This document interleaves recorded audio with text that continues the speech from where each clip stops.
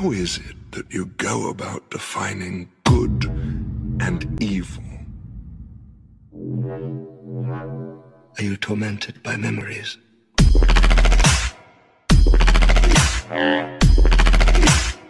I want you to kill one more.